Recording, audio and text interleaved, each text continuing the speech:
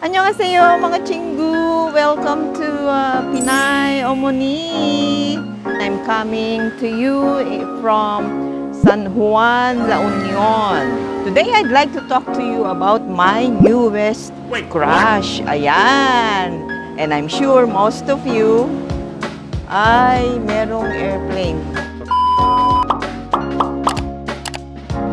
Today, I'm going to talk to you about my newest crush, which I know na lahat kayo crush nyo din. Of course, I'm talking about the famous Mr. Gu, Son Soku of the recently concluded drama, Our Liberation Notes. O, di ba? I'm sure kayo din, nataypan nyo siya- siyang bigla. Nagka-crush kayong bigla sa kanya. Crush ng bayan siya ngayon, no? Nag-march siya sa akin. I first saw him in 60 Days Designated uh, Survivor which uh, starred Ji Jin He. Sabi ko may potential, may potential at guwapo ha. Anyway, we are going to talk about him and we will know about some facts. He stayed uh, for uh, many years in the US and Canada. He studied there while he was in middle school. Why? Because he tend to be a shy child. And so his parents perceived na dalhin siya somewhere else where he could develop uh, his personality. And true enough, he studied uh, in middle school sa US and then also in Canada. And uh, later on, he took up film in the Art Institute of Chicago. Ang first dream niya kasi is to be a documentary writer. And uh, being a documentary writer, yung first assignment niya was Unframed. Yun ang title nun. Of course, his stay in the US and Canada made him to be a very fluent English speaker, syempre, kasi doon siya nag-stay. Of course, he used his knowledge na marunong mag-English to be in um, a foreign film that is um, titled Sense 8. Ayan, he auditioned in that foreign film, a, uh, also a series, and then he acted as the Detective Moon in Sense 8 with Faye Donna. Ayan. And this is one that will shock you. I also was uh, shocked by this fact that he was a CEO of a uh, machinery uh, manufacturing company called GOMT. CEO, di ba? Parang uh, ang sarap maging executive assistant kung ang CEO ay si Song Suk Koo. Anyway, the company earned a profit of 4 million in 2016. But then, now that he is uh, in the acting field, of course, he has to leave the management and concentrate on his acting career.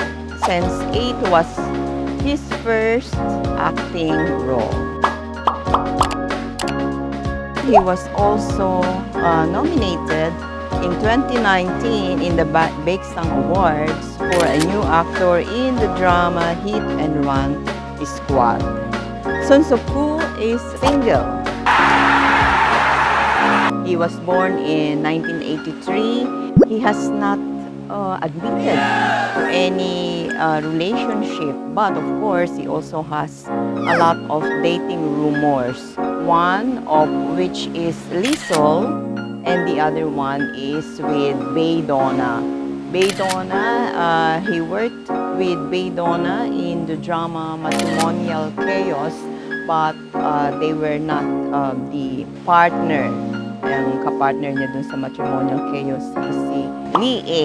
Nakasama niya sa Liberation Notes. His drama, Our Liberation Notes, which was recently concluded, gave him really uh, shoot up in his stardom because we loved him there, yung uh, this quiet, um, the quiet uh, alcoholic guy na talagang pinotray niya yung kanyang role. The, the quiet alcoholic guy who only has eyes for me young.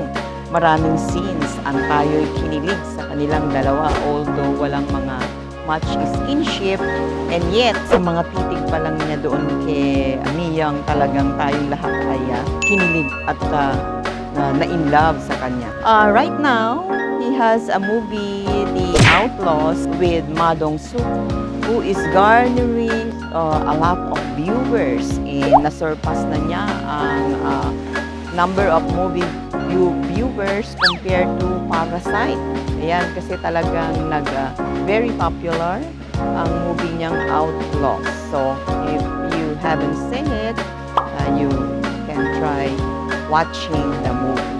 Among his uh, friends in the industry, notable ang friendship niya with uh, Che Hee-soo and Lee Ji-hoon. Ayan. And there are so many dramas and na naka-lined up uh, para sa ating opa, si Sokbu. We are all anticipating yung mga kanyang mga uh, dramas coming up and we of course want to see him more both in the small screen and the big screen. Recently, it was known that Song Soo-koo went to the Philippines, Oh particularly God. in the north where he was filming. Sana nakapunta tayo and he will be able to see him personally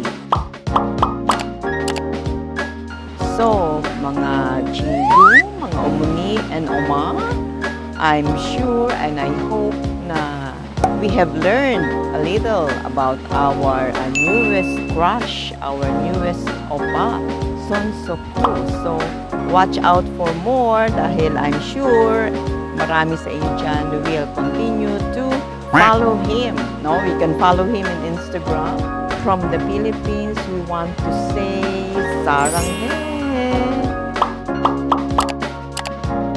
Anong ating mantra? Don't forget to like, subscribe, and click the bell.